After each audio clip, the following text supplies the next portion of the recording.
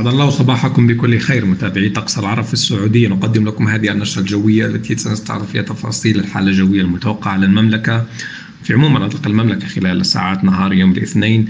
نبدأ نشرتنا بالتوقعات الجوية للعاصمة الرياض خلال ساعات نهار يوم الاثنين حيث يسود طقس غائم مع فرصة لزخات من الأمطار في العاصمة حيث تتأثر بحالة من عدم الاستقرار الجوي. 27 درجة مئوية كحرارة عظمى خلال ساعات النهار. الانتقال الآن للتوقعات الجوية في باقي مناطق المملكة. نبدأ بالمنطقة الشمالية. سكاكا زخات رعدية من الأمطار متوقعة 27 إلى 18 عرعر طقس غالبا صافي 25 إلى 15 أما تبوك غالبا صافي 28 إلى 16 بالانتقال الآن إلى المنطقة الغربية.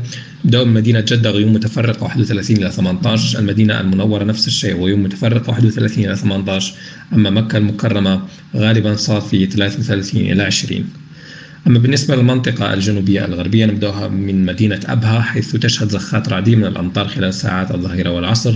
24 إلى 17 جازان طقس غائم جزئي 30 إلى 18 لكن تجدر الإشارة إلى أن المرتفعات مرتفعات جازان وعموما المرتفعات الجنوبية الغربية ستشهد زخات رعدية من الأمطار خلال ساعات نهار اليوم.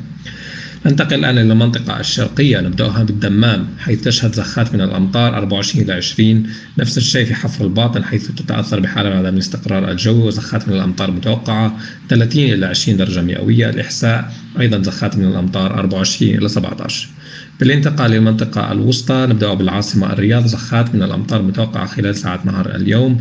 27 إلى 19 درجة مئوية ويوم متفرقة في حائل والقسيم 25 إلى 16 في حائل 27 إلى 17 في القسيم نتمنى لكم نهار سعيد. إلى اللقاء.